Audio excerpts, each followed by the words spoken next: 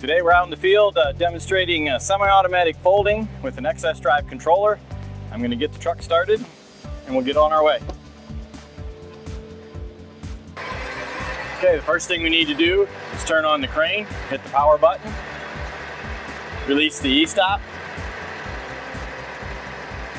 press the button for remote, and release the e-stop on the remote. Now this controller, XS Drive, has four menus.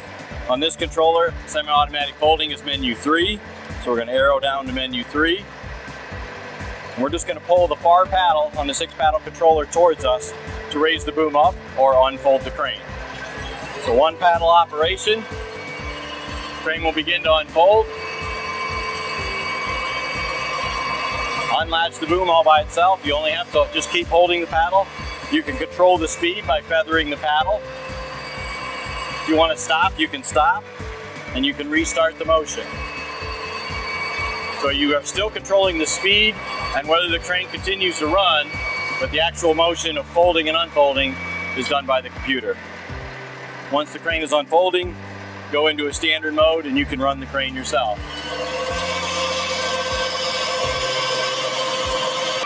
When you're done working for the day,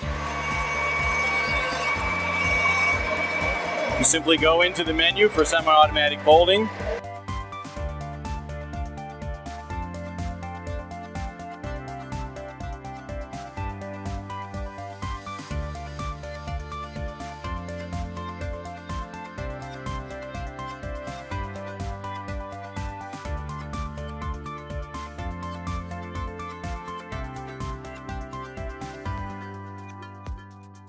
Push the last lever, which is lever number six, away from you, which is commanding the crane to fold.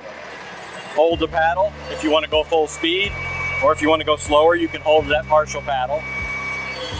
The crane will swing into the proper position.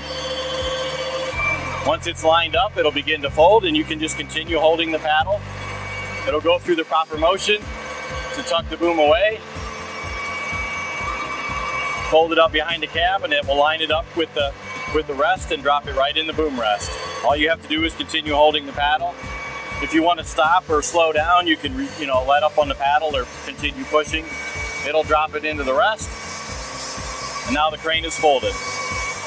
Then you just hit the E-stop and shut off the controller as normal. Turn off the remote, push the E-stop, and turn off the power.